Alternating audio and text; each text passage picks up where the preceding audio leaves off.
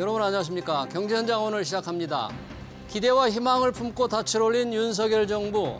하지만 경제 상황은 고물가, 고환율, 고금리, 이른바 삼중고 상황이죠. 특히 고삐 풀린 물가가 나라 경제는 물론 서민 경제까지 위협하고 있는데요. 윤 정부 국정 허니문 기간 동안 어떤 보완으로 삼중고를 헤쳐나갈지 전문가들과 짚어보겠습니다. 유튜브 실시간 댓글 의견 주시면 토론에 반영합니다. 경제 현장 오늘입니다.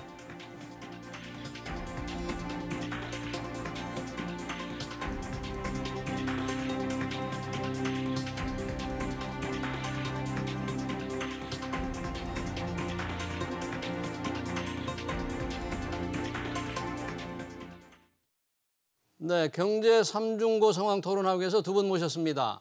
홍기용 인천대 경영학부 교수, 주원 현대경제연구원 경제연구실장 나오셨습니다. 어서 오세요. 반갑습니다. 네, 안녕하십니까. 자, 우리 경제 지금 윤석열 정부 출범하자마자 삼중고, 고물가, 고환율, 고금리 정말 어려운 상황이라고 하는데 홍 교수님, 네. 어, 교수님 보시기에 지금 윤 정부 맞닥뜨리는 지금 경제 상황 어떻게 판단하십니까? 네, 금방 말씀해 주신 것처럼 뭐 환율, 뭐 금리, 물가 이런 고자 돌림이 있지만 또 한편 우리 서민들은 집도적으로 집값, 고, 고집값이죠. 집값. 예, 집값도 있고 또 에, 부채도 어, 다른 거래, 어, 다른 문제, 고부채, 또 네. 고세금 세금도 이, 이런 여러 가지가 에, 극단의 단계에 이제 왔다 보니까 네.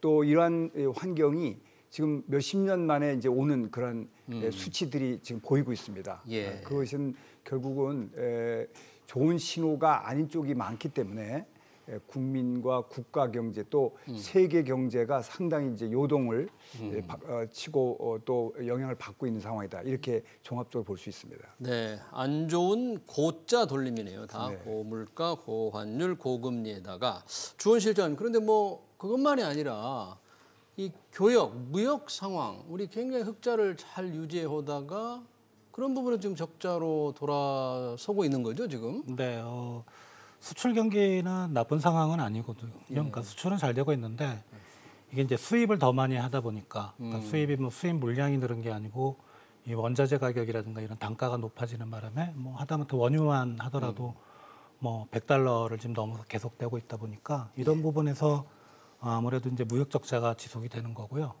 그게 이제 어, 아직까지는 우리가 이제 3월 경상수지 통계까지만 보는데 네.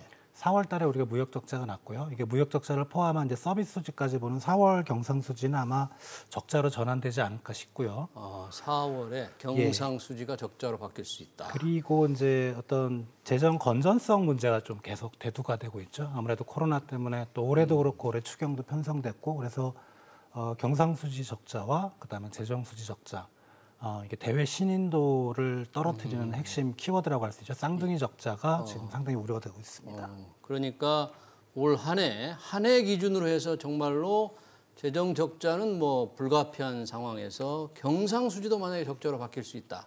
그러면 쌍둥이 적자가 현실화될 우려도 있다. 그 삼중고의 쌍둥이 적자까지 어, 윤석열 정부 정말 헤쳐나기가 쉽지 않은데 그 중에서도 삼중고에서도 가장 심각한 거를 우리 홍 교수님은 어떤 부분을 가장 심각하게 봅니까?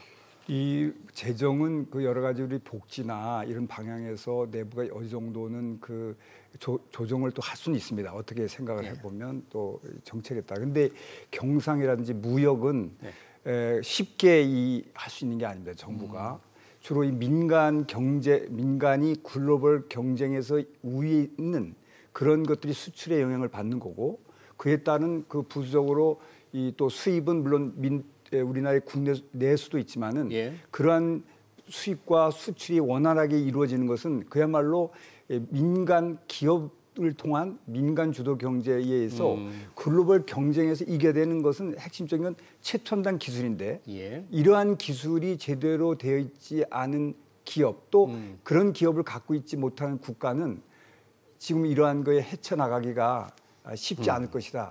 이렇게 보고 있는 것입니다. 네, 그렇군요. 민간 기업이 이제 경쟁력이 있어야만 이런 상황을 헤쳐나갈 텐데 이 삼고 현상에서 가장 걱정되는 게 물가라고 할 수 있겠죠. 지금 그 세계적으로 다 뭐 우리나라만이 아닌데 어느 정도 지금 물가 상황이 심각합니까? 지금 이제 우리나라만 보면 4월 소비자 물가 상승률이 전년 동월 대비 4.8%인데 이게 4.8. 네. 13년 만에 이제 가장 높은 수준이죠. 근데 예. 이게 뭐 문제는 4.8이 꼭대기가 아닐 가능성이 더 높다. 더 올라갈 것 같다. 예, 그러니까 5월과 6월에 어, 최근 어떤 카드 사용액이라든가 뭐 내수 경기 돌아가는 거 보면 물가를 자극하는 요인이 분명히 더 있을 것 같고요. 그래요. 그리고 이제 기저 효과가 어, 5월과 6월에는 좀 크게 작용할 가능성이 있습니다. 그렇다면 작년 5, 6월은 좀 상대적으로 낮았다 예, 좀 괜찮, 얘기죠. 상당히 좀 저물가였다고 음. 평가가 되는데 뭐 그렇다면 5월과 6월에는 어, 뭐 늦어도 6월에는 5%대로 그러니까 5%대는 사실 저도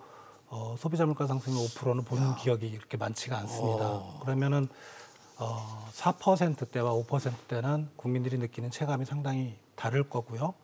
어, 지금 뭐 경기가 조금씩 회복은 된다고 하지만 예. 소득이 크게 안 늘고 있는 상황에서 물가가 그렇게 올라가 버리면 뭐 간단한 말로 어 뭐 올라가는 거는 물가밖에 없다. 월급은 그대로인데 그럼 네. 이제 우리 국민들의 삶이 팍팍해지는 이제 그런 국면으로 들어가게 되는 거죠. 네. 어, 우리 주원 실장님이 예상하는 대로 만약에 소비자 물가 5% 가까이 올라간다면 뭐 저도 그런 숫자 참 본 적이 없는데 우리나라만이 아니잖아요. 지금 미국 상황 좀 어떻습니까? 그렇습니다. 미국도 예. 그, 그 40년 만에 8.5%대 이게 우리나라는 지금 4.8이라지만은 예. 엄청난 게 지금 물가가 이렇게 요동치고 있는 겁니다. 우리나라도 우리 뭐 우리 주원 그 박사님께서 말씀해 주신 예. 것처럼 지금 4.8이지만 이 우리는 이제 에, 여러 가지 그 거래나 이 시중 내수가 예. 코로나를 뭐 마스크를 벗으니 뭐 이렇게 해서 조금 이제 시작 단계에 있는 거가 있고 예. 미국만 해도 좀 우리나라보다는 그 코로나의 대응 방식에 우리 입장에서는 이미 어, 꾸준한 에, 내수나 여러 가지 있는데 예. 그러다 보니까 거기에 8%로 많이 올라가는데 우리나라도 그러면 조금 더 지나면 예. 상당히 그 이 코로나 때 억제됐던 것들 네. 이런 것들이 에, 폭발해서 어, 오를 확률이 많다. 사실 뭐 지금 대기 상태 있는 그 공공 요금 등 각종 요금도 어, 우리나라의 그 에, 어떤 특징적인 그 이 억제 정책에 의해서 어, 낮은 수준에 있는 거지 실제 정부가 억지로 좀 눌러놨다 그렇죠. 이런 얘기죠. 그러니까 그게 어디에 쌓이냐 부채가 몇십 조씩 쌓이고 있던 겁니다. 공공기관의. 부채. 공공기관. 예. 특히 에너지를 담당하고 있는 한전이라든지 네. 뭐 이런 데는 엄청나게 음. 에, 쌓여 있는데 이런 것들이 사실은 그이 물가의 반영을 할 수밖에 없거든요. 앞으로 음, 여러 가지로 그렇게 또 그다음에 환율도 그렇고 그래서 아마 상당히 예전에 우리가 근년에 보기 어려운 그러한 상황을 음. 예, 잘 대처하지 않으면 어려울 수도 있지 않겠냐 하는 네. 예, 그런 생각도 갖고 있는 것입니다. 네, 지금 어, 홍 교수님이 이제 미국의 3월 소비자 물가 상승률 8.5% 얘기했는데 과연 우리는 더 올라갈 수 있는데 지금 미국에서는 이 8.5%가 정점이 아니냐, 혹시 정점으로 지나고 있느냐, 좀 꺾일까 아니면 더 올라- 올라갈까? 상당히 지금 논란이 좀 많다면서요. 실장님 어떻게 보십니까? 어, 일단 이제 발표가 될 텐데요. 예. 이제 4월 소비자 물가 상승률이 아마 오늘이나 내일 정도에 발표가 되는데 어, 3월에 이제 8.5%보다는 좀 약간 떨어지지 않을까? 그러니까 약간 낮아질 8%대 초반 음. 그 정도로 이제 대부분의 전문가들은 보고 있습니다. 그러니까 미국은 어, 인플레이션 그 주기라고 할까요? 그게 우리보다는 조금 앞서가는 것 같고 미국 내에서의 분위기는 좀 소비자 물가 상승이 좀 약간 둔화되지 않을까? 뭐 그게 어, 어떤 시장의 인플레 압력이 감소한다라는 그런 측면보다는 이제 기저 효과가 작용하는 거죠. 음. 이제 많이 그동안 올랐으니까 좀 상승률 자체는 떨어진다. 예. 그래도 8.1%는 상당히 높은 거죠. 예. 지금 예상치는 일 8.1%로 정도로 예상을 하고 있습니다. 있나요? 왜냐하면 그 정점이냐 아니냐에 따라서 증권 시장의 반응이 굉장히 달라지고 바- 변동성이 굉장히 커지는 것 같아요 지금 네. 상황이 그래서 아, 이 정점을 친다면 시장이 조금 안정되지 않을까 생각을 하는데 홍 교수님 지금 이 물가 얘기할 때마다 늘 나오는 게 우리나라 지금 환율입니다. 네. 뭐 지금 1,300원을 육박하는 아, 네. 어, 굉장히 높은 수준인데 지금 이 정도라면 물가를 더 자극하는 그런 상황이라고 할 수 있겠죠? 그럼요. 그 지금 그 물 이 환율이 오른다는 거는 뭐 대표적인 게 우리가 우리가 필요로 하는 물건을 예. 외국에서 가져올 때 이제 가격이 오른다는 것 아니겠습니까? 어, 그런 게 이제 되고 또 함께 오른 방법은 에, 금리의 영향에서 외국인들이 우리나라의 자금을 네. 금리가 더 높은 쪽으로 빼가기 위해서 어, 우리나라의 자금 유출상 그 어, 이 필요에 의해서 또 환율이 올리기도 하고 예. 다양한 이유에서 이제 이루어지는 것인데 그만큼 환율이 오른다는 것은 우리나라가 국제 경쟁에서 어좀 어, 미- 따라가지 그러니까 좀 약하다. 처졌다는 거 경쟁력이. 보는 겁니다 상대적으로 예. 이 환율이 좀 안정된 국가일수록 경쟁력이 세면 괜찮아지는 거고요 또 예. 뭐 여러 가지 튼튼한 어. 에, 기저가 되는데 예. 에, 지금 환율이 이렇게 오르는 거 또 우리는 에너지 그다음에 에, 그 중국과 미국과의 그 무역 전쟁 러시아하고 우크라이나 문제 이런 원자재 수급 관계 에너지 수급 관계 등이 전부 이게 에, 제대로 돌아가지 않음으로써 발생하는 그건 전부 우리한테 고스란히 에, 한국은 영향을 받는 이런 국가다 예. 보니까 어, 환율에 여러 가지 에, 악영향을 미치고 있다고 봅니다. 네. 그러니까요. 물가 상승률도 그렇지만 오늘 환율 보니까 천, 달러당 1,276원이에요. 네, 네. 이런 숫자도 그렇게 자주 본 숫자는 아닙니다. 근데 예전에 이렇게 환율이 오르면 지금 물가를 더 자극할 수는 있지만 우리 수출 기업들은 좀 좋다 이런 얘기가 많았는데 요즘은 좀 그런 영향이 덜 합니까? 어, 우리가 이제 환율이 1,200원, 1,300원대를 넘었던 게 이제 어, 코로나가 좀 터졌던 2020년 뭐 예. 그때 몇 달 그리고 2009년 금융위기 때 몇 달이었는데요. 예. 어, 그때 우리 그 수출 증가율을 보면 2009년에 마이너스 13%, 네. 예, 그리고 2020년에 마이너스 5%. 아, 그러니까 환율이 높다고 물론 이제 경기 실물 경제 충격도 분명히 반영이 됐겠지만 환율이 높다고 수출이 좋아진다는 보장은 없고 그 이유는 간단합니다. 그러니까 어, 옛날에는 우리가 이제 어떤 그 뭐라 그럴까요 범용 제품이었기 때문에 가격 경쟁력에 상당히 환율이 민감하게 반응을 했지만 예. 지금은 우리나라 수출품들이 상당히 이제 중기술 고기술로 하이테크 쪽으로 올라갔고요. 네. 일부 기업에서는 시장의 어떤 가격을 선도할 수 있는 그런 능력도 생겼고 음, 그리고 또 하나는 이제 지금 많은 기업들이 우리나라뿐만 아니고 이제 어, 선진국들의 생산 공장이 사실은 자국 내에 있기보다는 예. 어. 어, 바깥에 있습니다. 바깥에 예. 있기 때문에 어떤 그 기업의 제품 경쟁력이라든가 이런 음. 부분이 환율에 크게 영향을 안 받는다고 보시면 될 것 같습니다. 지금의 환율 상승은 어떤 뭐 우리 주원 실장 말씀대로 수출 경쟁력 향상보다는 물가만 자극하는 그래서 네, 네. 지금 걱정하는 고물가를 더욱 악화시키는 요인으로 상당 기간 지금 작용할 수 있겠네요. 어떻게 네. 보십니까? 그 지금 우- 우리 주 박사님 말씀한 것처럼 우리나라의 그 이 수출의 경상수지에 되는 게 영향이 대기업의 뭐 반도체 등 이게 엄청 이 비율이 20여 퍼센트 차지하는 등 고기술에 의해서 이 영향을 받는 거거든요. 음. 예. 이거는 그 우리가 뭐 환율에 의해서라기보다는 어. 아, 어떤 그 이 국제적인 수요 예. 또 거기 또 기술력에 의한 경쟁 거기서의 에, 기업 간의 문제가 음. 발생하는 거라서 환율이 없다고 해서 수출이 음. 에, 영향을 받지 않다 그 동의하고요. 다만 우리가 어, 이 중견기업, 중소기업, 일반 소비를 위한 필요로 하는 에너지라든지 원자재 네. 들어오는 거는 고스란히 이제 들어오니까 아. 우리나라에 지금 여러 네. 어려움이 처하고 중소기업들의 경우에는 네. 환또 환율 어떤 대응 능력, 고환율을 대응할 수 있는 그런 능력이 조금 취약하기 그렇습니다. 때문에 피해를 고스란히 받을 수 있다는 그런 지적이시네요. 아, 이런 상황을 저희가 주목하는 것은 이제 물가 때문인데 물가 관련 뭐 아까 미국도 심각하다고 했지 않습니까? 미국이 이 물가를 잡기 위해서 지난번에 연준에서 이제 빅스텝 0.5% 포인트를 한꺼번에 이제 올리는 빅스텝을 밟았지 않습니까? 현재 이런 빅스텝을 몇 차례, 두세 차례 더 할 것이다. 이런 당시 보도들이 나오고 있는데 지금 시장 전망은 어떻게 흘러가고 있습니까? 두 번 더가 가장 뭐 대, 대체적인 의견이고요. 예. 0.5를 한 두 번 정도 더하는 뭐 시기는 아마 하반기보다는 이제 여름이나 가을에 걸쳐서 이제 예. 두번 더 할 것 같고요. 예. 다만 일부에서는 이제 자이언트 스텝까지 얘기가 나오고 있죠. 그러니까 0.75. 예. 0.75% 아직 가능성 높게 예, 보나요? 그러니까 왜냐하면은 이제 물가 상승률 지표가 나와 봐야 되겠지만 예. 이게 쉽게 말 예를 들어 8%대를 뭐 상당 기간 유지한다. 네. 그러면 이제 자이언트 스텝에 대한 가능성 그렇게 주장하시는 분들이 더 힘을 얻지 않을까 그렇게 생각이 됩니다. 예. 그렇게 자이언트 스텝을 밟는 거나 아니면은 0.5% 포인트씩 빅 스텝을 두세 차례 밟을 경우 우리나라 지금 금리 이미 조금 먼저 올랐지만 네. 이제 한국과 미국의 금리가 뒤바뀐다. 미국 금리가 더 올라가면 어떻게 될까? 그런 어, 걱정들이 좀 그렇죠. 많던데. 예, 그렇습니다. 그리고 이제 지금은 한 0.2 내지 0.7 20%는 조금 우리가 우- 기준금리 기준으로는 우위에 높습니다. 있습니다만. 근데 지금 그건 말씀 것처럼 빅스텝을 한 두 번 정도 걷거다 예. 하는 것은 뭐 거의 기정사실화되고 어. 어, 그러면은 이제 우리나라가 그런데 개방 정책에서 안 따라갈 수는 없는 상황이 올 수 있다. 자본의 이 흐름이 네. 부자본 흐름의 영향을 우리가 직접 받는 국가라서 어. 어, 할 수밖에 없다. 근데 이제 그렇게 올리면은 제일 우선 중요한 것은 우리나라 그 기업 부채와 가계 부채가 한사다 합하면 한 4천 한 500조 정도 됩니다. 기업과 네.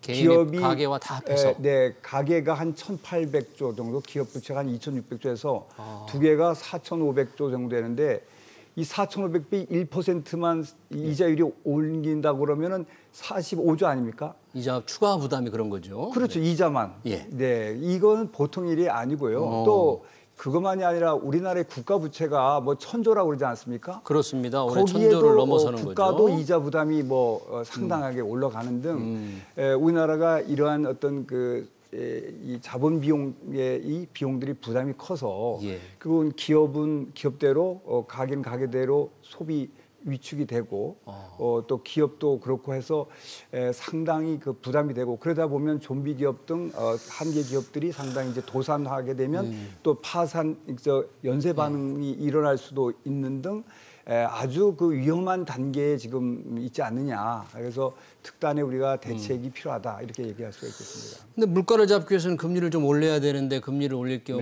네. 교수님 말씀대로 빚이 많은 가계 기업들의 네. 이자 부담 늘어나 경기 둔화돼 걱정이 더 많다. 네. 참 어떤 선택을 해야 될지 힘들겠어요. 지금, 그 지금- 물가를 한편을 잡아야 되고. 그렇습니다. 그래서 지금 현재 뭐 돈을 뭐 지금 공약을 약속했다고 해서 예. 뭐 몇십 조를 지금 뭐 단기간에 주고 하는 것도 중요하고 예. 약속 지키는데 그러나 우리 전문 또 가만 생각을 예. 해보면 그것만 갖고 해결이 되면 이제 문제가 음. 없습니다만은 그런 분들 이런 큰 돈을 예, 구조와 국가 경쟁력 이렇게 해서 다 같이 할 수 있는데 좀 썼으면 좋겠다 하는 음. 아. 것도 있거든요, 사실은요. 네, 네, 네. 예, 그런데 이제 이러한 것들을 예, 재정 투자 국가가 할수 있는 거는 결국 재정을 가지고 하고 네. 치- 또 규제를 가지고 하는 것인데 예, 그런 밑받침을 예, 정치적인 요인과 이런 예, 선거 국면 등을 맞이하는 단계에서 네. 상당히 왜곡적인 것도 없지 않아 있지 않겠냐 이런 네, 이제 재정의 쓰임새인데 재정의 쓰임새 저희가 이제 곧바로 얘기를 하고요. 그 앞서서 만약에 미국이 빅스텝을 두세 차례 밟는다. 우리 현재의 0.25% 포인트 한국은행 이런 이른바 어, 베이비 스텝으로 간다고 금리 역전이 일어난다면 혹시 어, 외국인 자금이 썰물처럼 빠져나가는 우려 어떻게 에, 보십니까? 어, 이제 한국과 미국의 금리가 같아지거나 아니면 미국이 오히려 역전시키는 게 어, 빠르면 7월, 늦어도 연말 정도면 아마 그런 현상이 좀 발생을 할 것 같아요. 금리 역전이 발생할 그렇죠? 것이다. 음. 그러면은 이제 우리가 경제학 교과서에서 나오는 금리 격차에 따른 예. 어, 자본의 유출입 유출이죠. 그러니까 유출 가능성이 상당히 높게 돼도 되는데 예. 과거의 통계를 보면 사실 그렇게 유의미한 게 크게 자본이 유출된 적은 없었고 언제 한번 통계가 그렇게 그렇죠. 나와 뭐, 있습니까? 뭐 음. 과거에 이제 뭐 금융위 전후라든가 뭐 2000년대 초반에 이제 뭐 그런 쪽이 좀 있었는데 금리 역전이 있었는데 돈이 그렇게 빠져나가지 예, 않았다. 다만 주식 시장이나 채권 시장에서 외국인이 매도를 한 적은 있습니다. 매도를 많이 했다. 그러니까 매도가 자금이 빠져나간다는 건 아니고요. 음. 그러니까 자금은 팔아놓고 이제 대기성 자금으로 있는 거고 그리고 아. 한 가지 생각해 볼게 지금 이제 그 외국인 투자 자금이 언제쯤 들어왔을까? 최소 예. 뭐 우리가 상식적으로 3개월 이전에는 지금보다 들어왔겠죠. 음. 그때 환율은 되게 좀 낮았습니다. 그러니까 뭐 평균 잡아보면 지금보다 10%. 네. 그러니까 지금 만약에 그 들어왔던 자금들이 빠져나간다? 수익률이 마이너스 10%거든요. 아, 그러니까 금리 격차로 우리가 이제 얻을 수 있는 이득을 우리 돈값이 떨어졌으니까 수익이 워낙 떨어져 있다. 그렇죠. 그런 그러니까 거죠. 뭐 금리 격차 때문에 미국으로 간다 그래도 과연 그 수익률 격차가 얼마나 되겠어요? 금리 때문만 음. 한단 뭐 1, 2% 자, 많이 잡아도 3% 포인트밖에 안 될 텐데 아.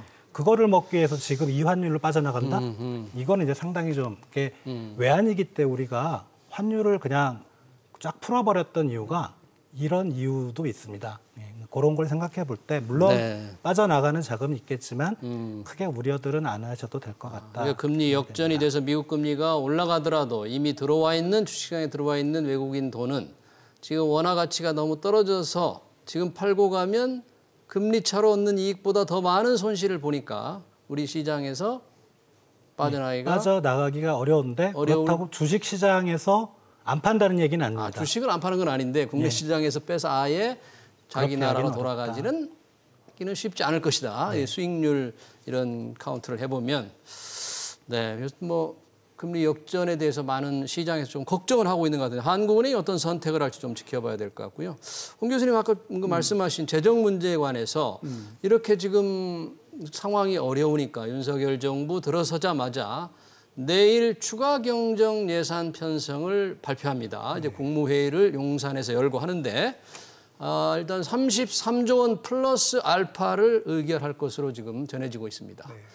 음, 소상공인들 지원해야 되는 거 아닌가요? 어, 에, 지금 현 우리나라 시국과 여야 여러 구조 또 좀 몇 주 있다가 일어나는 또 선거 등 이게 여러 가지로 봐서는 할 거로 봅니다. 예. 뭐 저는 이 여당 야당이 에, 여당이 아무리 이, 그 의석수가 많아 야당이 지금 이제 야당이죠 많아도 에, 통과는 될 거로는 보이고요. 에, 예. 그런데 이제 에, 그거는 그야말로 우리 선거 국면을 거쳐서 이제 일어나는 것이고 에, 또 지원도 필요성도 있습니다. 에, 음. 예. 음. 또 상당히 어려운 분들 에, 상당히 있기 때문에 에, 그런 분들에 대한 지원 필요성도 있는데 음. 그 지원하는 방법이라든지 그거를 현금성이 아니라 금융 지원 등 에, 다양한 방법을 통해서 지원을 할 수 있는 걸 이제 모색을 해야 되는데 지금은 그런 여러 수단을 할 수 없고 단순한 것 예. 또 메시지가 단순하고 뭐 인당 얼마 뭐 이런 것이 더 부각이 돼서 일인당 소상공인에게 600만 원 600만 이상 이렇게 네, 뭐 하겠다고 이런 지금. 오늘 당정협의회에서 네. 확정을 에, 했습니다. 그렇게 안 하면 선거가 질 수도 있거든요. 네, 지방선거에서. 그렇죠. 그래서 지금은 에, 비효율이 좀 따르더라도 음. 이거는 이제 할 수밖에 없는 에, 상황은 이제 왔고요.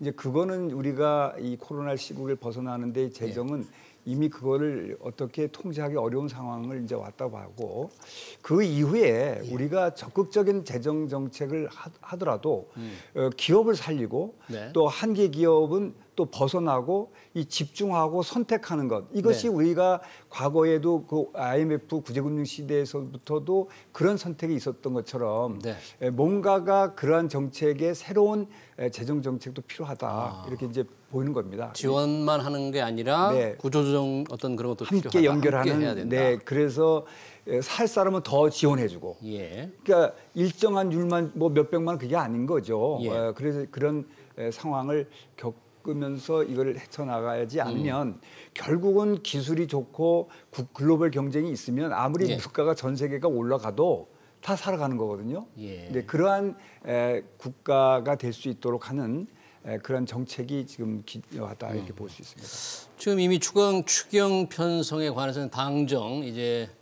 국민의힘과 현 윤석열 정부 합의를 했는데요 오늘 어, 재원이 이제 중요한데 나라 빚을 더 늘리지 않겠다 어, 기획재정부 추경호 부총리가 그렇게 얘기를 했어요 나라 빚을 더 안 늘리고 이 재원 마련하는 게 현실적으로 가능할까요? 어, 이제 발표되는 그 예. 장부를 우리가 봐야 될 것 같은데 음. 지금 생각으로는 쉽지는 않을 것 같아요. 물론 이제 부총리께서 상당한 의지를 가지고 왜냐하면 지금 올해 1차 추경만으로도 예. 어, 국가 채무가 1,075조에 GDP의 50%가 이미 넘어 있거든요. 예. 그러니까 여기서 나라빚을 더 추가한다면 사실 이제 안 좋은 시그널, 뭐 음. 국민들은 물론 우리 대외 신인도를 떨어뜨릴 수 있는 요인이 되니까 예. 어, 방법은 이제 뭐 세출 구조조정, 그러니까 다른 부분에 뭐 좀 깎는다든가 깎는 다른 거. 부분의 지출을 그리고 뭐 잉여금이라는 게 항상 있습니다. 뭐 예. 그런 부분을 좀 쓰겠다고 말씀하셨는데 이게 규모가 만만치가 않거든요. 그러니까 네. 35조 정도 되는데 과연 가능할까? 아무튼 어. 개인적으로는 좀 발표되는 거를 봐야 될 것 같습니다. 네. 세출 구조조정 그렇게 할 수 있는 이게 돈 이미 예산이 다 꽉 짜 있는데 할 수 있는 여력이 있습니까, 교수님? 작년도에 이 그러니까 결국은 저 뭐 부채는 저래도 국세가 주요 핵심적 재원 아닙니까? 예. 작년에 340조 정도 거쳤습니다. 그래서 올해도 예산이 한 343조, 그러니까 거의 갖게 해놨는데 세금이 그 정도 네. 거친 것으로. 공교롭게도 이번 그 이 3월까지 그 12조가 더 거쳤어요. 그러면서 올해가 예. 아, 12조. 에, 그러면 가, 아, 이 후반기에 이런 것을 다 감안해서 세, 어, 세금을 이번에 세, 정부 지출을 억지로라도 해- 한다면 음. 아마 제 2차 추경에서 보완하는 그 지출, 음. 어, 세출 그 추경만이 아니라 세입 추경을 함께 이제 이루어지지 않을까. 네. 아, 이럴 때에 에, 보완을 해 나가서 예. 요번에 일단은 메꾸고 음. 어, 여당도 협- 야당도 협조를 안 할 수 없는 국면이니까 민주당도요? 둘다 책임이 네. 있는 거죠. 음. 에, 그렇게 하고 정부 지출을 해서 일단 하고 네. 에, 세수나 여러 상황을 봐서 에, 뭐, 어, 그 여름이나 가을이나 에, 그 보완 세입 추경 같은 거를 통해서 네. 에, 요걸 메꿀 수 있지 않겠냐 이렇게 보는 것 같습니다. 예. 30여 조니까요. 예. 에, 근데 그러한 걸 일단 에, 그래도 미래 거를 미리 끌어 쓰는 거죠. 미리 이제 조정해 보는 거죠. 에, 그래서 이제 하여튼 메시지는 단순합니다. 네. 국채는 안 쓴다. 국채 발행을 추가하지 안 한다. 않는다. 네, 정부 지출로 하겠다. 네. 예, 그러나 이제 지금으로 에, 세입 추경이 이루어지지 않는다면 음. 정부 지출로만 진짜로 어, 한다면 상당히 어렵죠. 네. 그런데 그것이 아마 에, 저는 염두에 두고 하지 않겠느냐. 음. 나라 빚이 1천조 원을 넘는 게 확실하기 때문에 네. 더 이상 빚을 더 늘리지 않겠다는 의지는 좋은데 현실적으로 재원말이 가능할까 하는 그런 걱정을 두 분이 해주셨고요. 어, 이렇게 추경을 하게 된 것은 어, 소상공인을 지원하면서 경기 둔화를 좀 막아보자는 건데 어제 윤석열 대통령의 취임사 주목을 끄는 게 있었어요. 양극화 해소 이런 어려운 부분을 돌파를 하는데 경제의 빠른 성장만이 해결의 길이다. 어, 이 좀 오랜만에 들어보는 그 빠른 성장인데 우리 주원 실장님은 어떻게 평가를 하셨습니까? 어, 이제 보통 대통령께서 또는 이제 경제 관련 부처의 장들이 어, 던지는 메시지가 이제 단기적인 게 있고 중장기적인 게 있죠. 그러니까 단기적인 거는 이제 주로 뭐 고- 물가, 뭐 예. 경제 현안이고요.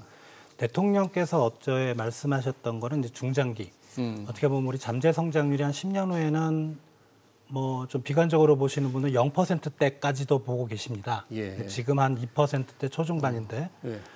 어, 이런 성장률이 떨어지는 거 우리가 음. 이제 secular stagnation이라 해서 중장기 성장률이 떨어지는 저성장의 장기화 이게 아. 상당히 지금 계속 우려가 되고 있고요. 예. 그러니까 그런 부분을 말씀하셨던 것 같고 이게 어, 빠른 성장이라 하면 예. 지금의 잠재 성장률보다 더 높인다는 얘기는 아니고 0%대로 언젠가는 갑니다. 모든 나라들이 선진국들 보면 그렇게 예. 주도적으로 낮아지게 그럴. 수밖에 없습니다. 예. 예. 그럴 수밖에 없는데 그런 성장률이 떨어지는 걸 많이 낮추고 그래서 그런 이제 성장률을 높이는 거는 뭐 큰 축은 두 가지거든요. 예. 하나는 출산율을 높여야 돼요. 지금 우리나라 잠재 성장률이 떨어지는 한 3분의 2 정도, 한 70%가 향후 우리 잠재 성장률 떨어지는 원인이 이제 일할 사람이 없다는 음. 거거든요. 중장기적으로 볼 때. 그리고 두 번째는 출산율을 높여야 하고요. 그리고 예. 이제 새로운 산업이죠. 우리가 아. 뭐 뉴딜 과거 문, 문재인 정부 때 뉴딜, 뉴딜 같은 예. 그런 정책을 어떤 새로운 성장 동력을 찾는 음. 그래서 두 가지의 말씀을 하시기 전에 뭐 이런 어, 성, 빠른 성장을 강조하셨던 걸로 생각이 됩니다. 네. 어, 이 출산율을 높이건 정말 출산율 제고에 많은 돈을 쏟았지만 어, 성공적인 결실은 없었는데 과연 어떻게 할 수 있을지 걱정이 되네요. 이번에 그 이 현 정부가 특징은 예. 그 현, 예, 과거 정부가 그 세금 중심의 국가 주도 경제를 했다.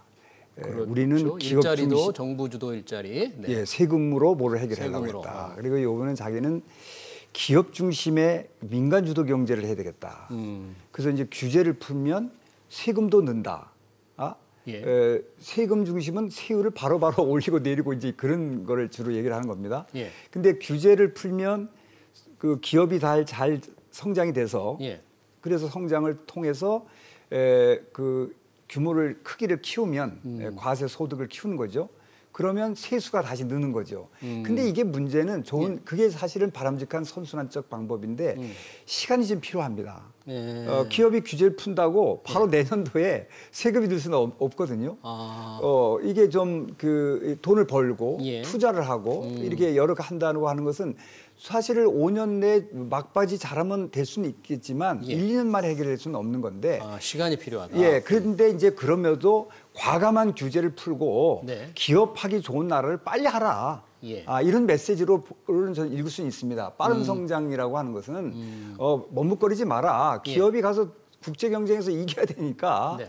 그런 면에서는 에, 메시지로서는 괜찮고로 보이고요. 그 결실은 바로 바로 뭐 올해 내년에 바로 볼 수 있는 것은 이제 선거 판면이 있는 거고요. 네. 이제 이러한 과정에서 아마 메시지를 전달하지 않았나 이렇게 생각을 갖습니다. 그런 측면에서 민간주도 어제 어, 취임 만찬에 어, 대기업 총수들도 대부분 많이 참석을 하셨잖아요. 그런 게 좀 새로운 긍정적인 신호로 보입니까? 어떻게 보십니까? 어, 이제 취임식 하실 때 이제 말씀하셨던 게 자유민주주의 시장 경제거든요. 그러니까 어떻게 보면은 음, 자유로운 시장 상황에서 기업들이 마음껏 어, 활동을 해서 그게 이제 우리나라의 성장 동력으로 이어질 수 있는 특히 이제 지금 어, 중요한 게 어, 디지털 어, 혁신이죠. 예. 그쪽에 전환을 역을 많이 높여야 된다고 생각을 한다면 이 대기업들이 많이 같이 뛰어줘야 됩니다. 뭐 대규모의 투자 이런 것들을 상당히 좀 어, 많이 신경을 쓰고 계시다 이렇게 보시면 될 것 같습니다. 네, 잘 들었습니다. 윤석열 정부가 맡고 있는 삼중고 과연 어떻게 해결할지 토론 여기서 마치겠습니다. 지금까지 홍기용 인천대 경학부 교수, 주원 현대경제연구원 경제연구실장이었습니다. 고맙습니다. 네.